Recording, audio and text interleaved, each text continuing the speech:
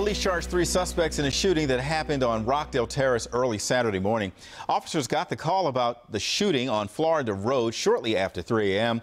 They found a car that had been carjacked earlier. In it were the three suspects. They were charged with the carjacking and shooting. Their two victims from both incidents were taken to the hospital and are expected to be okay.